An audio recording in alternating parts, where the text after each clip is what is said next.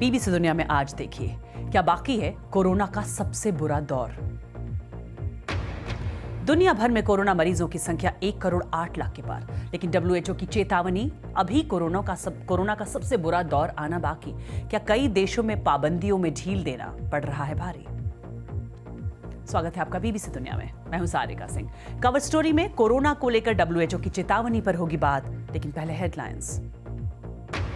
भारत में रिकॉर्ड स्तर पर बढ़ रहे कोरोना वायरस के मामले। पहली बार 24 घंटे में सामने आए बीस हज़ार से ज़्यादा संक्रमण के मामले। संक्रमण की मौजूदा दर यही रही तो जल्द ही रूस को पीछे छोड़ तीसरे नंबर पर जा सकता है भारत। 15 अगस्त तक भारत की पहली कोरोना वैक्सीन लॉन्च करने की भी तैयारी।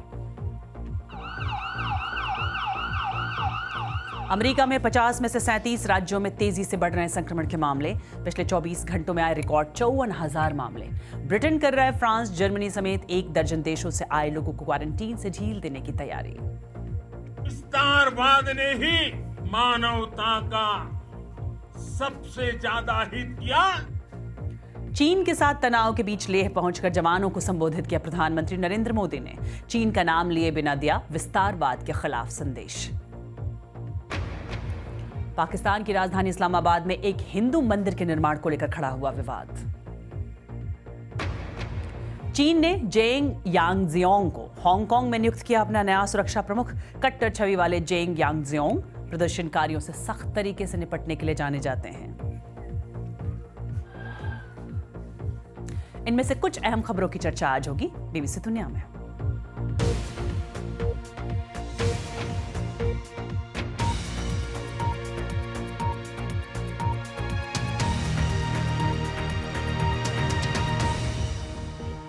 कोरोना महामारी। दुनिया भर में पाँच लाख बीस हज़ार से भी ज़्यादा लोगों की जान ले चुका है। इसके बावजूद डब्ल्यूएचओ का कहना है कि सबसे बुरा दौर तो अभी आया ही नहीं है, वो आना बाकी है। तो भला कौन कौन से देशों में इसके और फैलने की आशंका है और डब्ल्यूएचओ की इस चेतावनी के क्या मायने हैं? इसी पर बात करेंगे कवर स्टोरी में।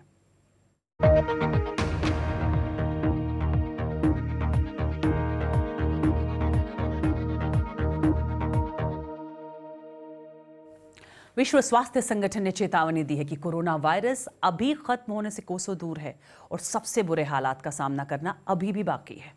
डब्ल्यूएचओ महानिदेशक ने कहा कि कुछ देशों में हालात सुधरने के बावजूद महामारी अभी तेज़ी से फैल रही है और जैसे जैसे पाबंदियाँ घटाई जा रही हैं, संक्रमण की सेकेंड वेव देखी जा रही है।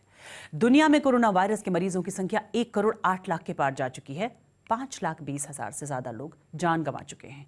तो किस किस देश में ये वायरस सबसे तेज़ी से फैल रहा है?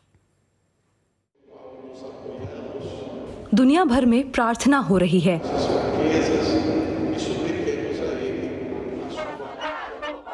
और विरोध प्रदर्शन भी।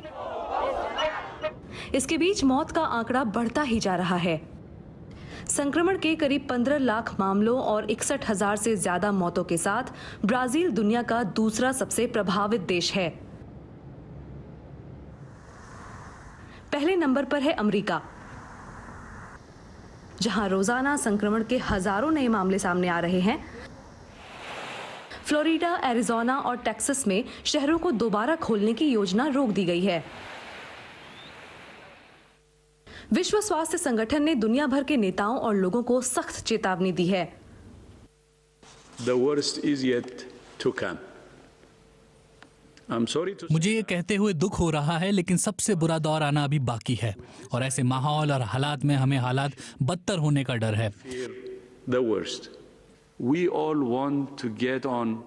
हम सब. अपनी जानें बचाकर आगे बढ़ना चाहते हैं लेकिन कड़वी सच्चाई यही है कि हम इसके आसपास भी नहीं हैं।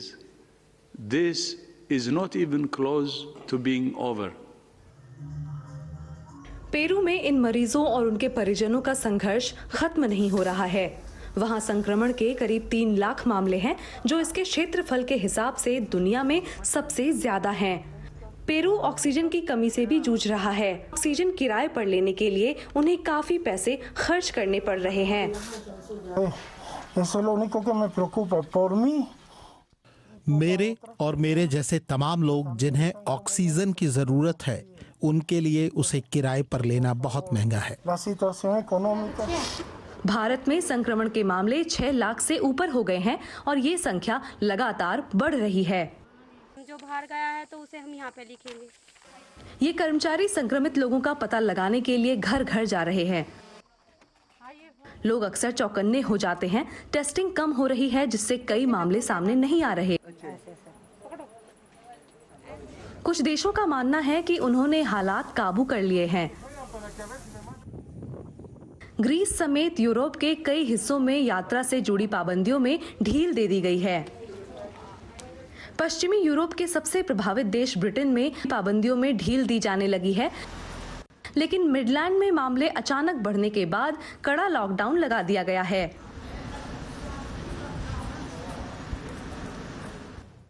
डब्ल्यूएचओ का कहना है कि संक्रमण रोकने के लिए हमें अंतर्राष्ट्रीय समन्वय को और बेहतर बनाना होगा। उसके मुताबिक आम लोगों की मदद से संक्रमण रोका जा सकता है। लोग आपस में दूरी रखें, नियमित अंतराल पर हाथ धोते रहें।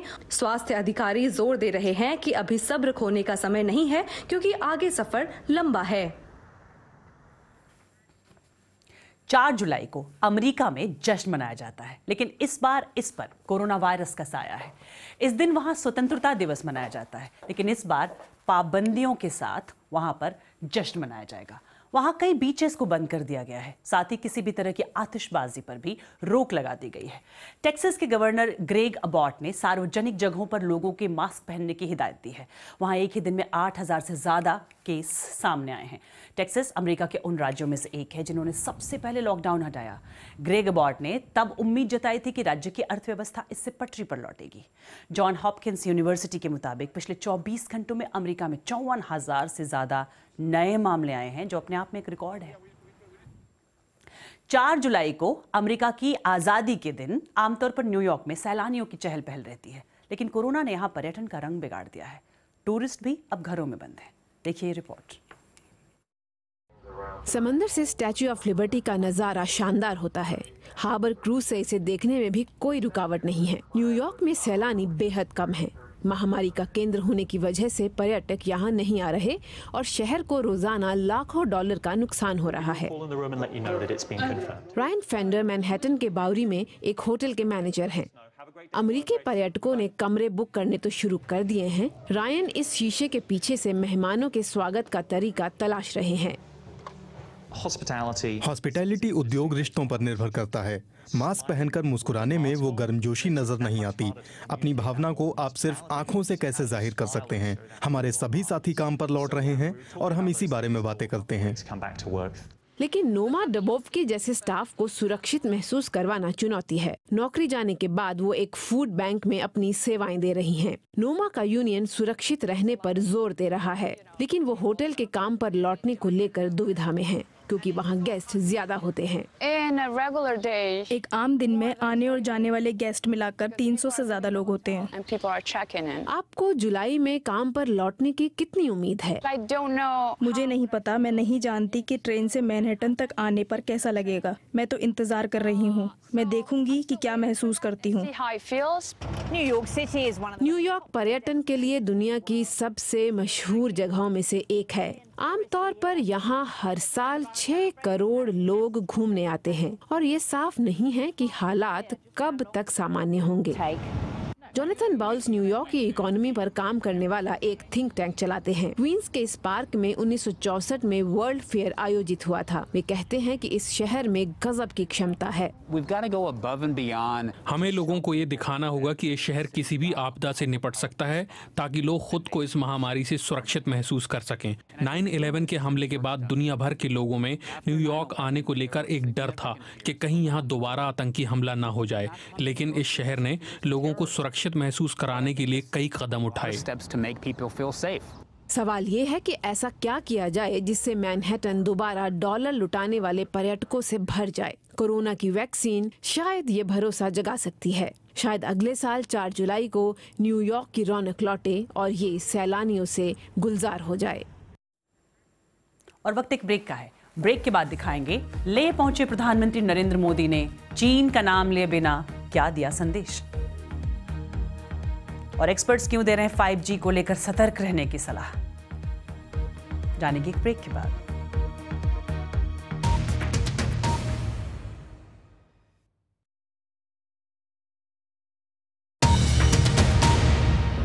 आप देख रहे हैं बीबीसी दुनिया। मैं हूँ सारिका सिंह। भारत चीन तनाव के बीच प्रधानमंत्री नरेंद्र मोदी आज सुबह अचानक लेह पहुँचे और वहाँ सीमा पर तैनात सेना के जवानों को संबोधित किया उनके हौसला अफजाई की। उन्होंने चीन का नाम तो नहीं लिया, लेकिन कहा कि विस्तारवाद का दौर अब खत्म हो चुका है। विस्तारवाद ने ही मानवता का सबसे ज़्यादा हित किया मानवता को विनाश करने का प्रयास किया विस्तारवाद की जीत जब किसी पर सवार हो हुई है, उसने हमेशा विश्व शांति के सामने खतरा पैदा किया है। और साथियों, ये न भूले, इतिहास गवाह है कि ऐसी ताकतें मिट गई हैं। या मुड़ने के लिए मजबूर हो गई इस पर चीन ने भी अपनी प्रतिक्रिया दी है। चीन के विदेश मंत्रालय के प्रवक्ता ने कहा है कि इस समय किसी भी पक्ष को ऐसा कोई काम नहीं करना चाहिए, जिससे कि दोनों देशों के बीच और तनाव बढ़े। और 15 और 16 जून की दरमियानी रात गलवान में भारत चीन के बीच हिंसक झड़प हुई, जिसमें भारत के 20 जवान मारे गए। फिर उनतीस जून को भारत ने सीमा विवाद का ज़िक्र किए बिना उनसठ चीनी ऐप्स को बंद कर दिया। क्या इस विवाद में भारतीय खुफिया एजेंसियों की समीक्षा की ज़रूरत है? यही सवाल पूछा बीबीसी संवाददाता जुगल पुरोहित ने। Retired lieutenant general A S Bedi से जो मार्च 2020 तक डिफेंस इंटेलिजेंस एजेंसी के प्रमुख थे। सुनिए उन्होंने क्या कहा। डेफिनेटली इसके ऊपर स्टडी होना चाहिए और आ, हमें बिकॉज़ ये नॉई ये सिर्फ़ इस इंसिडेंट की जानकारी के लिए ही इंपॉर्टेंट नहीं है बट आगे समय में भी हमारे को अपने सिस्टम के अंदर इम्प्रूवमेंट लाने के लिए भी बहुत इंपॉर्टेंट है। प्योरली मिलिट्री के अंदर ये रिव्यू कोई मायने नहीं रखेगा। ये जो रिव्यू है जैसे हमने पिछली बार कारगिल के समय में ये रिव्यू किया था जिसके अंदर टास्क फोर्स बन के सारी एजेंसीज की जो कार्रवाई थी उसके ऊपर जो है प्रॉपर स्टडी की गई थी। उसी मुताबिक ये रिव्यू पूरा होलसम होना चाहिए और नॉट ओनली डिफेंस एक कारगिल कारगिल रिव्यू जैसा हमारा एक बेंचमार्क होना चाहिए उस स्तर पे हमें बात करनी चाहिए और सिस्टम को ओवरऑल और उस तरह से ट्यून करने की ज़रूरत होनी चाहिए। डेफिनेटली वैसे अमेरिका ने भी चीन की दो कंपनियों खावे और जेड को राष्ट्रीय सुरक्षा के लिए खतरा बताया है। ख्वावे भारत में 5G नेटवर्क के ट्रायल में हिस्सा लेना चाहती है लेकिन अब कंपनी के खिलाफ कार्रवाई का सरकार पर दबाव बढ़ रहा है वॉशिंगटन में बीबीसी संवाददाता विनीत खरे ने बात की अमेरिकी फेडरल कम्युनिकेशंस काउंसिल के चेयरमैन अजीत पाई से और पूछा कि भारत ने उनसठ चीनी एप्स पर जो कार्रवाई की है उसे वो कैसे देखते हैं How do you react to India banning 59 apps from China? Uh, your thoughts? ये एक अहम कदम है। मैंने देखा कि दो दिन पहले ये आदेश दिया गया और ये दर्शाता है कि भारत में दक्षिण एशिया में पूरी दुनिया में चीन की टेक कंपनियों को लेकर जिन पर चीन की कम्युनिस्ट पार्टी का असर है चिंता बढ़ रही है। खासकर ऐसे वक्त जब ये कम्युनिकेशन नेटवर्क और कंपनियाँ और प्लेटफॉर्म आपस में जुड़ी हुई हैं और राष्ट्रीय सीमाओं की परवाह नहीं करती। ये सभी के लिए खतरा है। भारत सरकार के लिए खतरा है। भारत के लोगों के लिए ये खतरा है। ये प्रतिबंध आगे कैसे बढ़ता है इसे हम बहुत गौर से देखेंगे और हम ऐसे विषयों पर भविष्य में साथ काम करना चाहेंगे। What would you tell countries like India on allowing these two companies for 5G trials? Given the fact that 5G will underlie 5G अर्थव्यवस्था के बेहद महत्वपूर्ण पक्ष की बुनियाद होगी, इसीलिए ये ऐसा विषय है जिस पर हम जोखिम नहीं ले सकते। ये वक्त है उन कदमों को उठाने का, जिनसे कहीं ऐसा ना हो कि आपके नेटवर्क में असुरक्षित सामान और सर्विसेज़ का इस्तेमाल हो, जिन्हें बाद में हटाने और बदलने में भारी खर्च और वक्त लगे। चीन की कम्युनिस्ट पार्टी ने साफ़ कर दिया है कि वो ऐसे हर मौके का फ़ायदा उठाना चाह रहे हैं। ये किसी भी देश के पक्ष में नहीं होगा, चाहे वो अमरीका हो या अगर मैं कहूँ तो Bharat. Certainly not one like the United States and I would dare say one like India. तो अमेरिका और भारत दोनों ही तरफ़ से चीन पर दबाव देने की कोशिश हो रही है। और एक ब्रेक के बाद दिखाएँगे इस्लामाबाद में एक मंदिर के निर्माण पर क्यों खड़ा हुआ विवाद? तो मिलते हैं एक ब्रेक के बाद।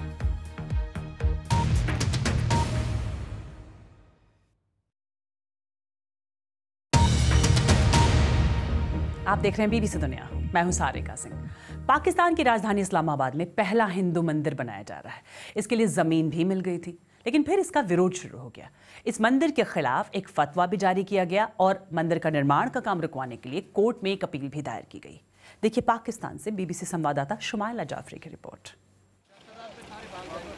ये पाकिस्तान की कैपिटल इस्लामाबाद में पहले हिंदू मंदिर की कंस्ट्रक्शन साइट है। पाकिस्तान की सरकार ने मंदिर के लिए तकरीबन चार किनाल ज़मीन अलॉट की है। यहाँ पे इस्लामाबाद हिंदू पंचायत जो है एक पूरा कॉम्प्लेक्स कंस्ट्रक्ट करना चाहती है जिसमें एक मंदिर इसके बराबर में शमशान घाट पार्किंग ऑडिटोरियम कम्युनिटी हॉल। कुछ लोग नया मंदिर बनाने की मुखालफत भी कर रहे हैं। इस्लामाबाद के एक वकील ने हाई कोर्ट में मंदिर की तामीर रोकने के लिए दरख्वास्त दी है। वकील को एतराज़ है कि शहर के मास्टर प्लान में ये प्लॉट मंदिर के लिए नहीं था और सरकार मास्टर प्लान की खिलाफ वर्जी कर रही है। अदालत ने मंसूबे पर स्टे ऑर्डर जारी नहीं किया, लेकिन कैपिटल डेवलपमेंट अथॉरिटी के अफसरों को तलब किया है। इमरान खान कहते हैं कि उनकी सरकार के लिए माइनॉरिटीज़ के हक भी मुसलमानों के जैसे हैं। लेकिन इमरान खान के एक कोलिशन पार्टनर ने भी नया मंदिर बनाने की मुखालफत की है। पाकिस्तान जो इस्लाम के नाम पर वजूद में आया था और इसके दारुल हुकूमत इस्लामाबाद में नया मंदिर बनाना न सिर्फ़ इस्लाम की रूह के ख़िलाफ़ है बल्कि ये रियासत मदीना की भी तोहन है। हिंदू कम्युनिटी इस रिएक्शन पर गुस्से में है। तो यहाँ इस्लामाबाद में अगर मंदिर खुल गया तो जो है हमारे मुसलमान भाइयों को कोई एतराज़ नहीं होना चाहिए।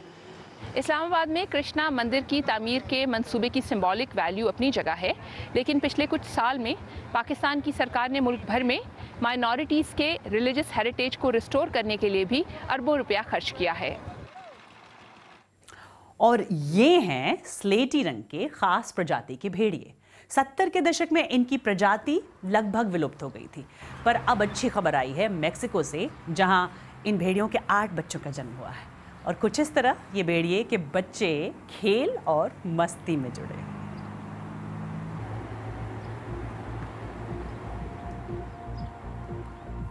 तो कार्यक्रम आपका कैस, आपको कैसा लगा बताने के लिए आप मुझे ट्वीट कर सकते हैं एट बीबीसी सारिका पर। तो बीबीसी दुनिया में फ़िलहाल इतना है।